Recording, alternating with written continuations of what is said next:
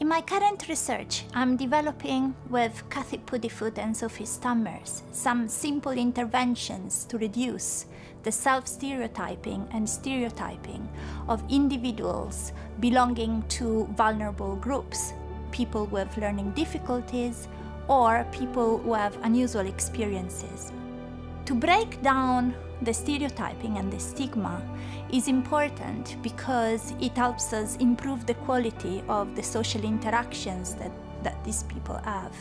But um, we can actually do more than that. Um, when we are stigmatized, we are likely to develop mental health issues. So by addressing stigma and trying to reduce the stereotyping, not only we're making sure that our society is fairer and more inclusive, we are also improving the health outcomes of the most vulnerable people among us. And we're doing this in collaboration with our partners, the Mental Health Foundation and Mind, the mental health charity.